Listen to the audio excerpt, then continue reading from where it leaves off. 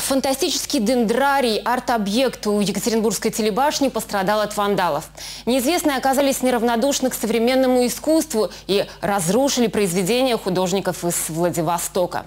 Евгения Рянцева, что было и что стало. Семь бетонных кубов стыдливо прячутся в высокой траве. О том, что они должны были гордо представлять миру, напоминают таблички. А вот что было.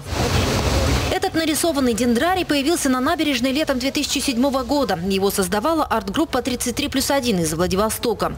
У подножия недостроенной телебашни художники изобразили мифические растения.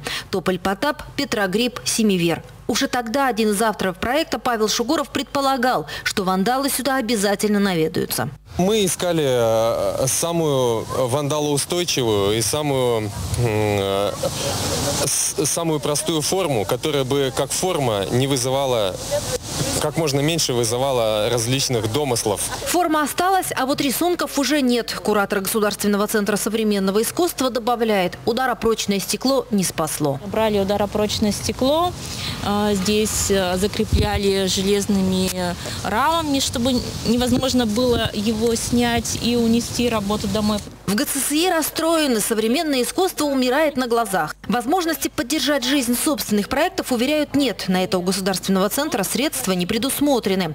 Рассчитывали на помощь Управления благоустройства Екатеринбурга. Но, по словам чиновников, поддерживать чужой арт-объект запрещено по закону. Это не что иное, как нецелевое расходование средств. Гражданский кодекс Российской Федерации прямо говорит, что бремя ответственности несет собственник, это, это имущество. Он должен его содержать. Выход есть. Передать Екатеринбургу право собственности на объект. В мэрии уверяют, что не откажут. Так, например, муниципальным стал памятник мушкетерскому полку у дома Севастьянова. А сейчас готовятся документы для принятия на баланс двух стел на перекрестке Восточной декабристов.